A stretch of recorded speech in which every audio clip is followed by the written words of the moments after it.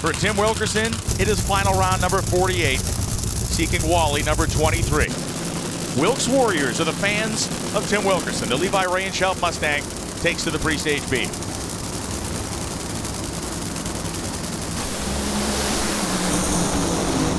And Ron Capps escaped first and gets the win line. 398.4, 324 miles an hour.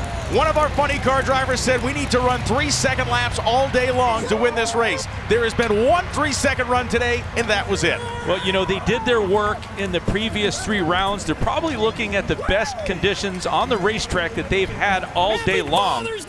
So the, the, the rigorous, the tough decisions were made in the first round, in the second round when it warmed up, and in the semifinals when it was probably the most treacherous and the most heat in the racetrack. But you can see this was a very well deserved first win with the GR Supra Body, and it's the second one that you had today. Validation was a word that was used. What word would you give race day today?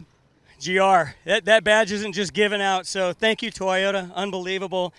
Uh, Napa people, I've told you time again, I love representing you. Thank you for letting me do that. Marty, Kevin, Catherine. Um, I don't know what to say right now. This is unbelievable. Ron Capps Motorsports, to have two wins already is crazy.